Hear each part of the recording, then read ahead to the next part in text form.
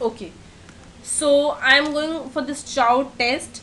So y is alpha 1 plus alpha 2 dt plus beta 1 xt plus beta 2 dt xt plus ut so clearly i would be changing the slope as can be seen from here and i be changing the intercept as can be seen from here. So for 1982 my equation becomes alpha 1 plus alpha 2 instead of dt I put 1 plus beta 1 plus beta 2 instead of dt I again put 1 xt if you can see this. For 1970-81 my equation becomes alpha 1 plus beta 1 xt putting d equal to 0 now notice I am changing the inter intercept term also and I am changing the slope also so basically the interaction term interaction of covariate and dummy actually changed the slope. And, and I now have concurrent lines. The slope also changed and uh, the sorry the slope also changed and the intercept also changed. Right? So I have these lines.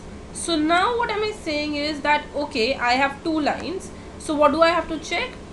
I have to check whether this differential intercept and whether this differential slope or slope drifter the two things are significant or not. So all that I have to check is whether there is the significance of beta 2 is this significant using t-test? And is this alpha 2 significant using t-test? Okay.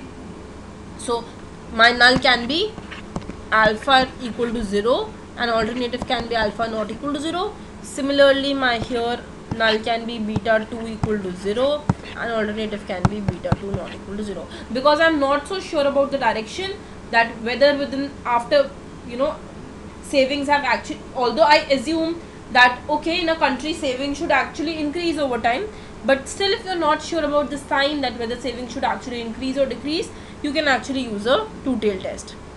Right? Okay. So coming forward I now talk I want to talk about the interaction between the dummy. Right.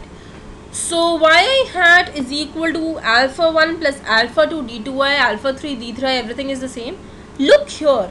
Here I am introducing interaction so, between the dummies. So now where will this be useful? So supposedly I have a data which says this is the data on north and I have a data on east. This is the data on east.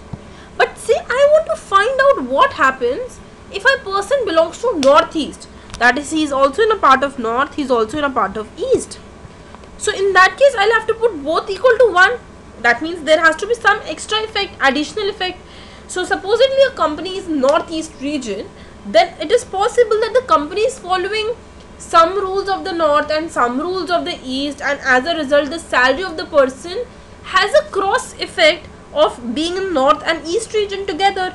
So when I have to show such an effect of interaction of the dummies, I will use product of the dummies. So taking the book example, supposedly I want to have two dummies.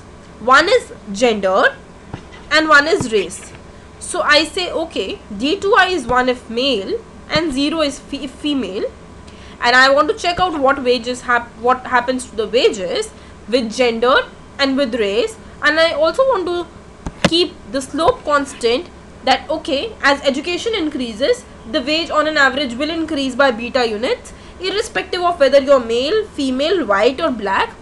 If education is increasing your wage should increase so I say okay D2I is 1 if male 0 is female and D3I is 1 if white and 0 if non-white and then I say okay I want to find out the average wage of a white female.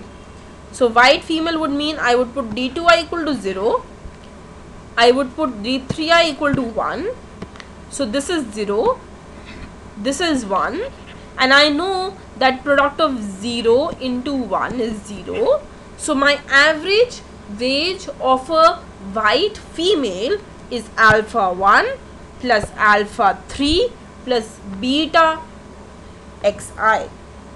Similarly, you can